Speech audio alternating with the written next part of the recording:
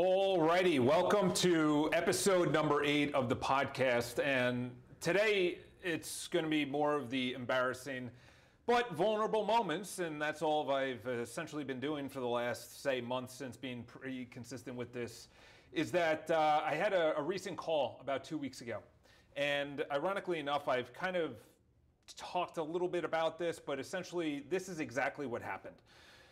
I was saying that I wanted to do certain things, okay? I was saying that I wanted to make more money. I wanted to ensure that I had wealth. I wanted to make sure that I had money for a family that I don't have and money for kids that I don't have and have a great legacy for them, even though I don't have any kids or a wife or even a prospect of a wife. And he's like, okay, that's great. You've been saying that for about six months right now, and we're done talking about what you want to do.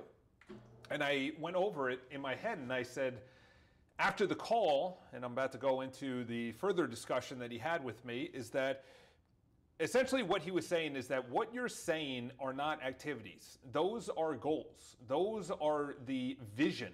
Okay? You have a lot of people that say, when I get into shape, then I'll eat better. When I get into shape, then I'll go to the gym.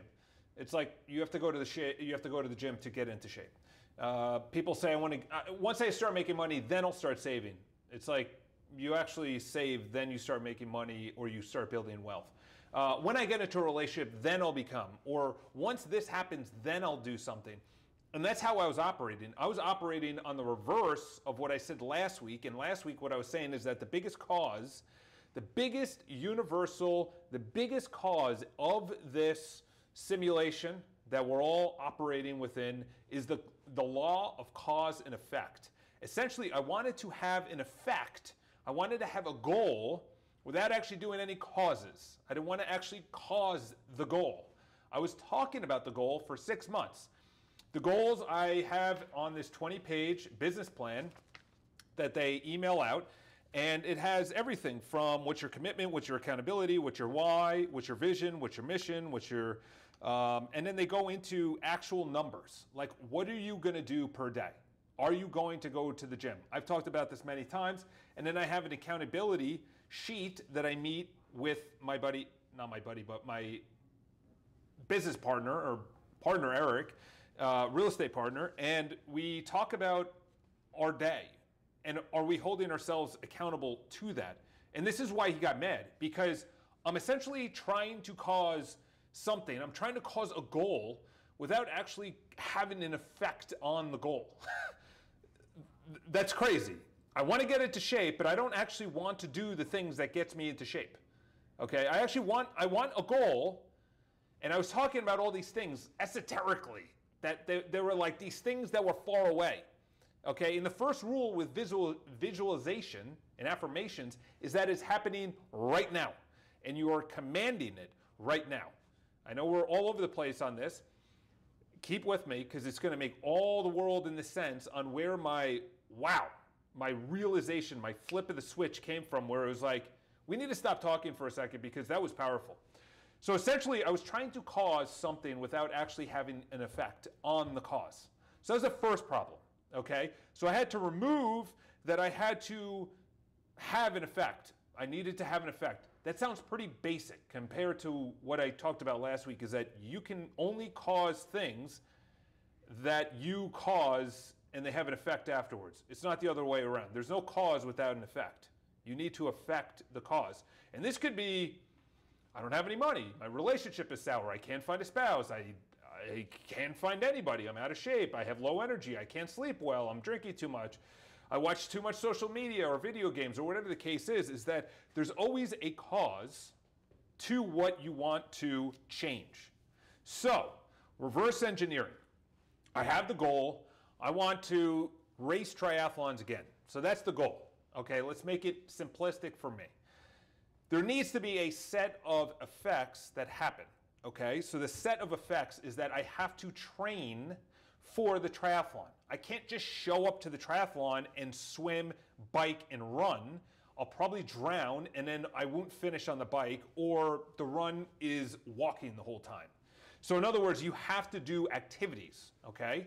So I'm going to make it as simplistic as possible because I'm telling you right now, my 2023 is going to be radically different than what I've been doing in 2022, in 2021, in 2020. 2020, 2021, in 2022, all I was doing was just flapping my lips and just saying, I want, I want, I want, I want. Why don't I have? Why don't I have? Why isn't this happening? Why am I not racing? Why is that? I what, I what? It's just all a bunch of social media garbage where people are just ch- just chirping online about nonsense that they are not even doing. You know, it's the it's the personal trainer that's completely out of shape. It's the it's the you know the the personal finance person who has no money. It's the person who's talking about how to make millions of dollars and the most they've ever made is a hundred thousand.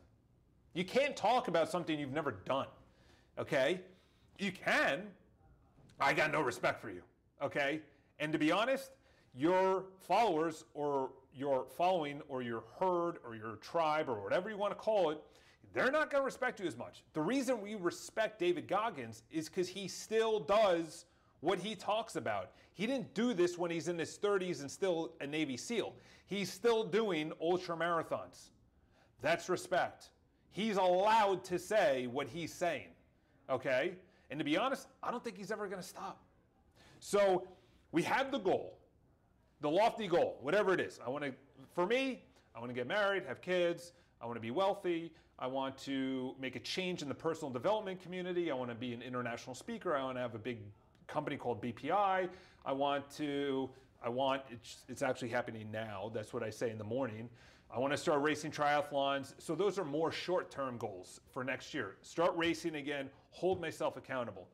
So this is where the title of the video comes in. So you have the goal, then you have what should I do? Okay, I have to run a certain amount of times, I have to bike a certain amount of times, and I have to swim a certain amount of times per week. Okay, now that we have it per week, now we look at it per day. Okay, and that's where everything happens. Everything happens per day. Nothing happens per month, per year, it's per day. What are your daily activities? So this is what he said. This is last month, before he got mad at me. he said, okay, what are you gonna do? So I came up with the list. I'm gonna wake up at 6 a.m., I'm gonna have no AM inputs, which means that I don't look at my phone. I'm gonna do at least 10 push-ups. I'm gonna visualize, I'm gonna rebound. Then I'm gonna go train. I'm gonna have my phone at work, so it's not even around me.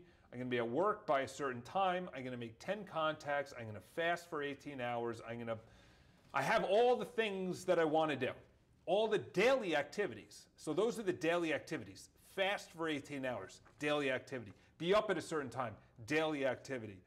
Train. So train for me is go to the gym for other people. So train is either running, biking, or swimming.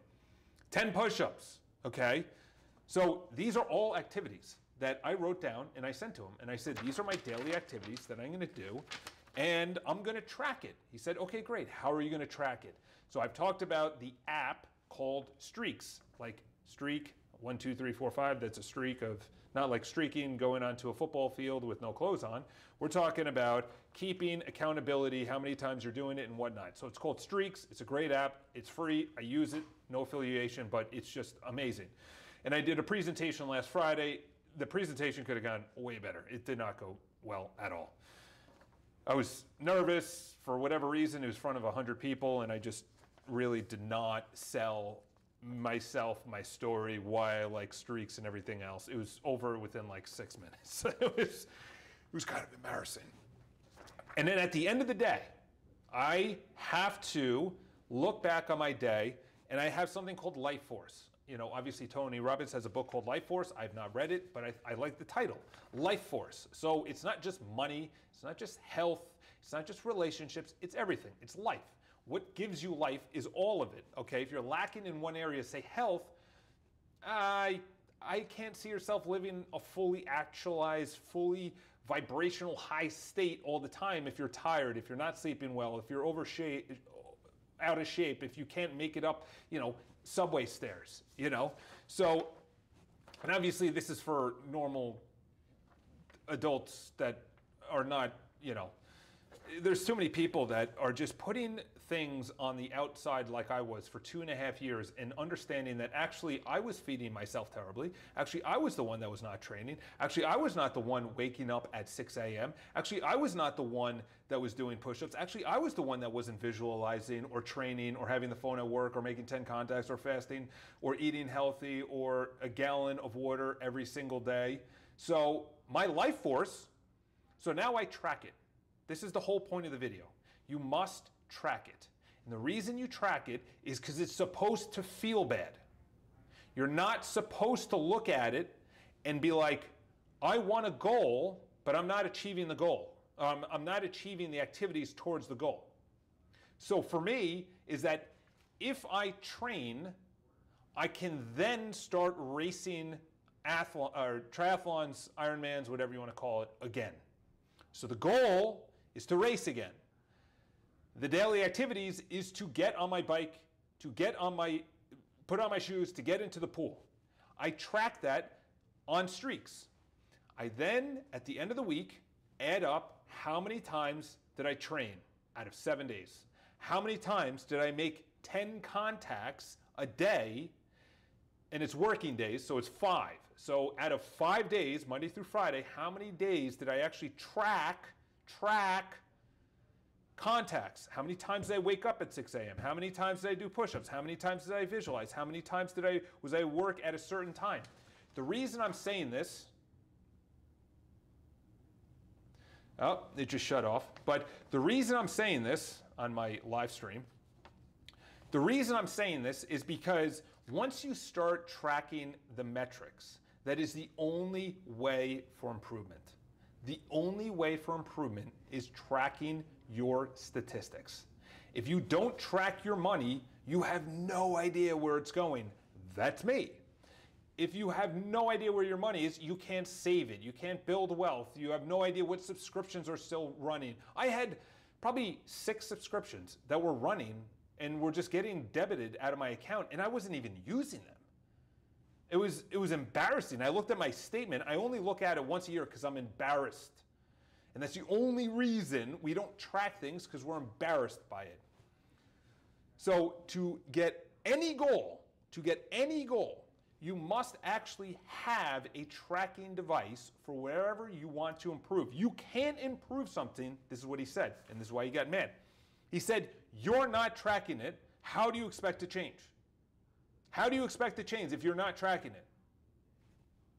Like you, that's like saying I want to become wealthy, but you have no idea how much is in your bank account. You have no idea where your money's going. You have no idea how you're making your money, but you want to become wealthy. I want to get into shape, but you're not actually tracking, say, all the food that you eat, the time you go to bed, how much alcohol you're having, how much food you're having, how much time you go to the gym. We track it even if we go to the gym. I'm now doing 15 minutes of cardio. That's tracking. I'm now doing 16 minutes. That's tracking with improvement. I used to do bicep curls of 20 pounds. Now I'm doing 25 pounds. That's an improvement. That's tracking it. And as much as we don't want to track it, people don't go to the gym and just start lifting random weights. Maybe some do, but most people are like, listen, I know I could lift this because I did it last week. Hopefully, I could lift a little bit more this week. Okay? I saved this amount in 2022. In 2023, I want to up the percentage from 5% to 10% of my net income or my net pay, whatever it is. I used to go on a date night when we first started dating for the first six months, but from month six to month 12, I haven't had any date night. And then you say, I'm going to track my date nights? Yeah. Well, if you're tracking everything else, one of the most important things is saying, I love you, or tracking that you have a date night, you're tracking that you're even nice to your spouse, or that you're kind, or you're listening, or you're not giving feedback, or whatever is the annoyance in the relationship, you track that you're not doing it because that's when the explosive arguments happen. If you're not tracking your money, that's when the bankruptcy happens. You're not tracking your body, that's when the emergency happens. And the biggest health emergency in the United States is going to even grow exponentially, which is that emergency thing that happens out of nowhere, could be a stroke, type 2 diabetes, it could be a heart attack, it could be a whole assortment of things, or the doctor tells you bad news. That's the most expensive part of bankruptcies and divorce is money. The biggest part of bankruptcies is health. So if that's not getting tracked, bad things potentially could be happening in the future. And it's not woe is me about a bankruptcy or whatnot, and I'm not talking about health, it's because it wasn't tracked. And I want to start now before something really bad happens. I told my coach that 2023 is the year to make it or break it. That is a fact for me. I don't know if it is for you, but that is a fact for me. He knows the exact details of why. I'm not going to make that public, but he knows exactly why. Once I'm through, I will make it public. But while I'm going through what I need to do on a daily basis, and that even includes posting content, okay? So, title of the video Why He Got Mad at Me. I was saying something, I didn't have any daily activities. That was the first call he was mad at me. The second call he was mad at me is because I wasn't actually tracking it. I was saying I wanted something, and I said here are the activities, but I wasn't tracking it. And that's when he got heated. He got mad. He's like, he was like slamming the desk, he's yelling at me and everything else. And it's true. And by the way, that's the way I like to be coached. I don't want like, you can do it, Charles, or have confidence. I don't like that kind of coaching. I, it's just not, it's just not for me. I didn't like it in sports. It's just how I am. So, this is what I have to say to you is that you have a goal, then you have to make daily activities, and then you have to track the daily activities. And it sucks. I'll give you an example. For me, 6 a.m. club, only twice out of seven days. No AM inputs. I hit zero for this week. When my alarm went off, I went on my phone. AM inputs is only after I start training, only after I'm done training, I should say, will I go onto my phone. 10 push ups, I did 7 out of 7. Visualize and rebound, I did 7 out of 7. Train, I hit 100%. So there's good and bad. But this is the most important thing at the end. My life force from so I do 9 out of 10 life force is like how do I feel and was I productive? How do I feel? Was I productive? And I do this at the end of the day. 9 out of 10 life force. I hit 0 for this week. 7 out of 8 only twice and the rest were 6 and below. 5 out of 7 days I was 6 and below. You're not going to like the results, but if I don't know, because I don't know how I felt on Friday, at the end of the day on Thursday, I don't know how I felt. But once you start tracking, you say, oh, actually, I've had more sixes instead of sevens and eights. Or I've had more sevens and eights than nines and tens. Okay, nines and tens, maybe rare and whatnot, but if you are coasting at sevens and eights, you're doing well. Okay? So I highly recommend tracking because it will show you where not only are you weak in all the activities that you're doing, that's number one. Number two is you get this feeling, this desire to change. That was the end of today's call, is that you have this desire to change. If you have no desire to change, guess what happens? No change. That's what happens. Cause and effect. No activities, no effect. No going to the gym, no getting into shape. So track your activities. I recommend Streaks app. That's what I use. If you're not using that, doesn't really matter if you use it or not, to be honest, for me. But there has to be a spreadsheet where it says, I woke up at this time, I visualize blah, blah, blah, throughout your entire day. All the activities throughout your day, people will think it's militant, they'll think it's too much, this is over the top, blah, blah, blah. But if you're not making improvement, this is why. This is why. You're not tracking it. You really don't care enough. That, that was the quote. He said, if you're not tracking it, you don't care enough. I'm like, no, I do care. He's like, no, you don't, because you're not tracking it. I was like, no, seriously, I, I, I can't. He goes, stop. Until you track it, until you see it, until you understand your activities, you don't care. And then when I started tracking that, I was having a lot of bad days. That's when I said, okay, I got to wake up at a certain time. I got to not be on my phone and I got to get to work at a certain time, and then my life force will move up. My activities will move up. My bank account will move up. Then we'll track my bank account. I'll maybe find a spouse. I will find a spouse. Then we'll track that. Am good husband, good boyfriend, good fiance, whatever the case is. So hopefully this helps. I know this was more of a, a rant, but it, it really has helped me out. You're going to see an absolute explosion in 2023 from me, and this is why. I have tracked everything. Um, I know what's his name from Ridiculousness. Rob Dyrdek does this, and he knows to a fact where all of his time, where all of his activities go, and everything else. Okay, and I love it. Okay, this is only for really the top 1% of psychos out there who are willing to go to the extra mile. The rest of the people are just gonna hopefully track it, but there has to be some improvement. Life cannot happen without improvement, and without improvement to the highest degree, everything is tracked. It's being tracked whether you know it. Your health is being tracked by your heart and your lungs and your organs and your blood and then you go to the doctor once a year and then they say here are the results and they're not so good or they're really good. And that's how it's tracked. So your money is being tracked either way. Your relationships your business your money your wealth everything is being tracked whether you know it or not. Why not be proactive? Why don't you be aware of what your attraction or i'm sorry be aware of where you are where you stand in all areas of your life.